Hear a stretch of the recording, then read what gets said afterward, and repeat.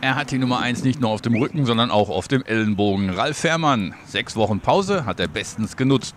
Herzlichen Glückwunsch nachträglich zur Hochzeit. Fühlt sich gut an. Äh, ich bin ein Stück weit ähm, ruhiger geworden, fühle mich gesattelter und fester einfach.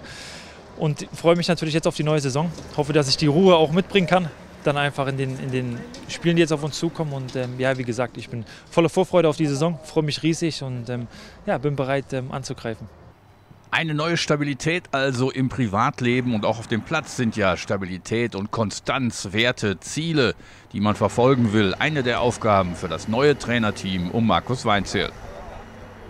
Ja, es ist ähm, total positiv gestimmt, ähm, bringt sehr, sehr viel Energie mit, ähm, was es, denke ich, ähm, richtig gut tut einfach.